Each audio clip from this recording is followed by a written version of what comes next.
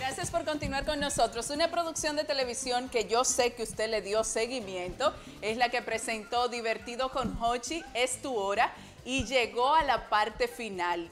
Y el Cibao, esta región Ay, ay, ay, ay. hermosa, Con permiso. quedó por todo ahí, lo que Me alto. productor y director. Y qué bueno. Dios bueno. mío, Dios Qué alegría y qué orgullo nos da recibir al ganador de Es tu hora.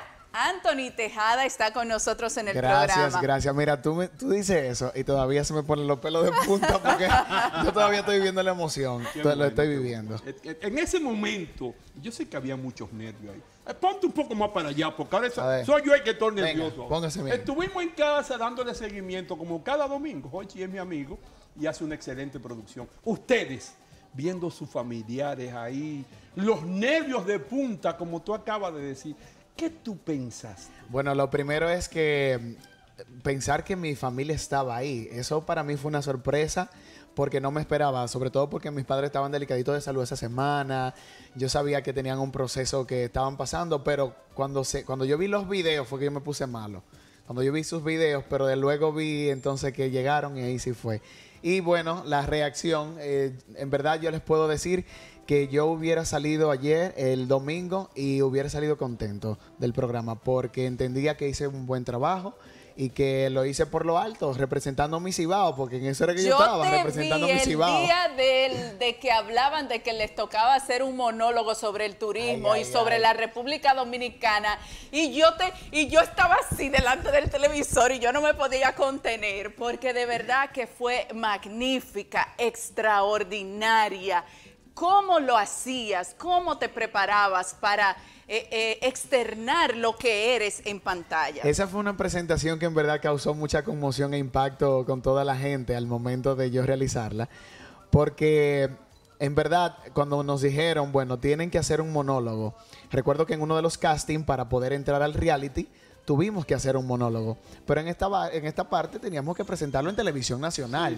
No es lo mismo presentarlo en un casting que presentar. Tú saber que primero tienes un jurado juzgándote y segundo tienes todo un público detrás de cámara. Entonces me preparé esa semana, me dediqué, busqué ayuda obviamente. Eh, le mando un saludito a Astrid Gómez, directora del Departamento de Horticultura de la Pucamaima, quien estuvo ahí apoyándome siempre en esa parte. Y, y montamos eso. Yo le dije, quiero algo que represente mi Cibao, que represente y que la gente se sienta identificada con él. Y obviamente un mensaje para todo el dominicano que se sienta orgulloso de su Y tierra. vaya que lo lograste, sin duda Se alguna. Que, que cuando tú lo viste, eso que tú hiciste, eh, ¿cuál fue tu evaluación? Yo siempre repito todos los programas, siempre los repito. Y al otro día cuando lo vi, eh, me sorprendí. De- de- de- del 1 al 10, Totalmente. ¿qué, qué, qué- qué porcentaje te diste tú mismo? No, yo me doy un 10. Un 10. Eso es. Un 10. Yo digo que creo en esta juventud. Ustedes saben que lo digo permanentemente. Creo en la juventud, la juventud que se prepara. Daba gusto ver estos muchachos en el programa de Hochi, muy bien preparados. Sobre tus compañeras, sobre el equipo que estuvo ahí compitiendo. eh, ¿Qué experiencia tú tienes? ¿Qué tú puedes decir? Yo podría decir que fue una experiencia extraordinaria, sobre todo porque cada uno nos complementábamos.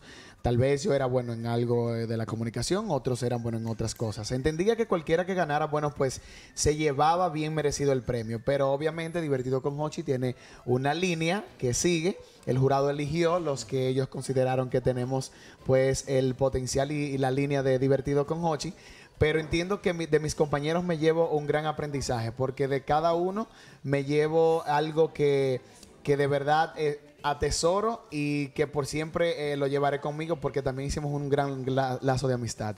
No fue una competencia típica donde había riñas, eh, había diferentes puntos negativos, yo podría decir.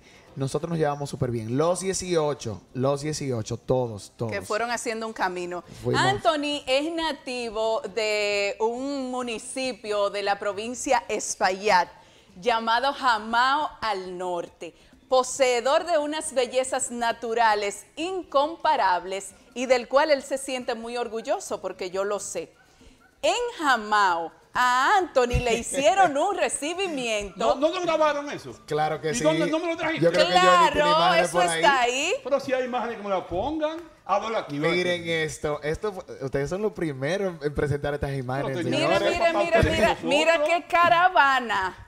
pero la merece. ¿eh? Cuéntame, Anthony. Mira, de verdad que todavía veo las imágenes y sigo sorprendido. Jamás ha sido un pueblo muy unido. Ustedes saben que los pueblos pequeños se caracterizan por eso, por Sí, esa sí, calidad sí, humana, el- la cercanía y apoyarlo de ellos.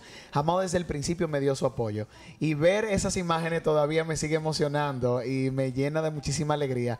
Porque ellos me, yo ayer avisé dos horas antes de llegar a Jamao. Le dije a mi mamá, mami, voy para allá porque necesito ver mi gente. Pues yo nunca dije convoquen una, una caravana. No. Cuando yo llegué, ya estaban en la esquina del puente donde inicia Wow, Jamao, wow. esperándome. Ahí está, cuando yo llegué a Jamao, todo el mundo abrazándome.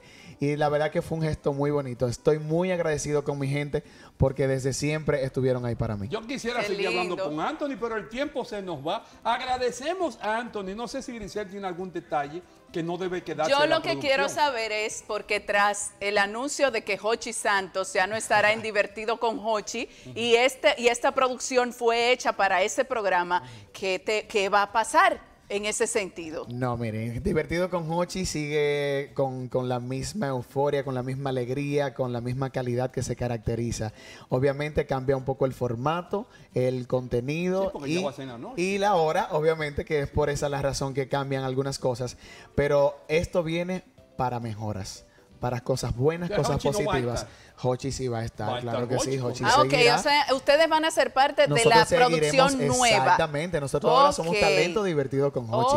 Ok. Al igual que Anier, Albermena, Eduardo, todos Pero seremos- ya será en el horario que se anunció En el horario que... se anunció, de 10 y media de la noche a 12 de la medianoche. Anthony, Ok. te felicitamos. Gracias Muchísimas por gracias. regalado Gracias por la Gracias. visita Este y orgullosa de ser de tu misma provincia. Gracias. Desde que yo vi ese interés de Grisel de manejar ese segmento, ella, Claro. Ya, ya usted Yo sabía. decía, pero Claro. bueno, ¿y qué? Pero es que el hombre de allá, Ah. el hombre del Ay, sitio. qué Somos de talento. Pero nos sentimos orgullosos del talento. Gracias. Y ojalá que no se pierdan e- esos detalles en los pueblos. Que en los pueblos grandes, en los pueblos pequeños, porque en los pueblos grandes eso se pierde. Sí, sí, sí. Gracias a ustedes por la invitación y bueno, sepan que tienen un representante del Cibao en Televisión Bravo. Nacional en Divertido con Hochi. Y de lo bueno, excelente. Gracias, hermano. Un A abrazo a la familia. a Bueno, ustedes. seguimos nosotros. ¿Qué, qué me dice la morena? Vamos arriba. ¿Qué Esto hacemos? ha- Se fue el tiempo ya. Esto Hay que ha sido despedir. tan reñido. Hay que despedir. Ah, vamos. Continuamos.